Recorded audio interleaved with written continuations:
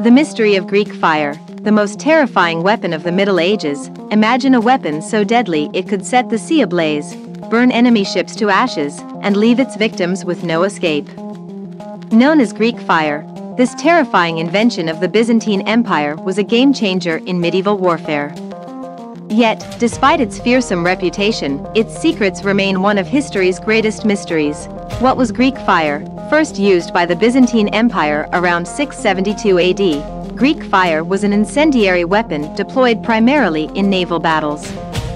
It wasn't just a flame, it was a liquid inferno, capable of clinging to surfaces and burning even on water. Byzantine ships were equipped with specially designed tubes that could shoot this blazing liquid at enemy fleets leaving them no chance to retreat or survive.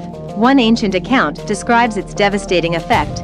The ships threw liquid flames from all sides. The crew members burned alive, leapt into the sea, and drowned. Those in armor sank, while the swimmers were consumed by fire. In another account, Greek fire is compared to dragons swimming in the sea, spewing brilliant flames, and roaring like thunder. The ingredients, still a mystery, what made Greek fire so deadly? Historians and scientists have speculated for centuries. Some suggest it was made from crude petroleum or naphtha, a highly flammable liquid. Others believe the formula included turpentine, pitch, sulfur, lime, animal fat, and even asphalt, but despite these theories, no one has been able to recreate its exact properties. Modern technology has come close, but the combination of ingredients, the delivery system, and the ignition mechanism remain an enigma, a secret worth dying for. Why is the formula for Greek fire lost to history?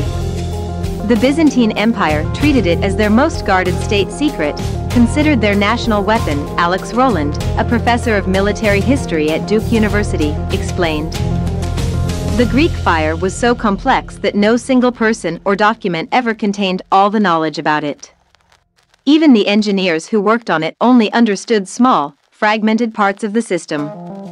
The Byzantines deliberately divided knowledge of Greek fire among a select few families, ensuring that no one person could replicate the weapon entirely.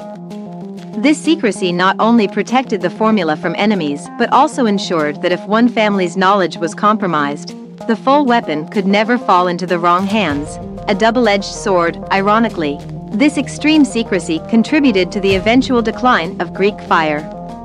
As generations passed, the knowledge was fragmented and lost even to the Byzantines themselves.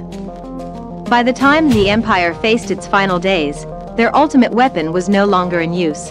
What do you think? Does the mystery of Greek fire fascinate you? Could we one day unlock its secrets, or should it remain buried in the annals of history? Drop your thoughts in the comments below. And if you're intrigued by stories of ancient mysteries, lost technologies, and forgotten empires, make sure to subscribe to our channel. Together, we'll uncover the secrets of the past and explore the incredible tales that shaped our world.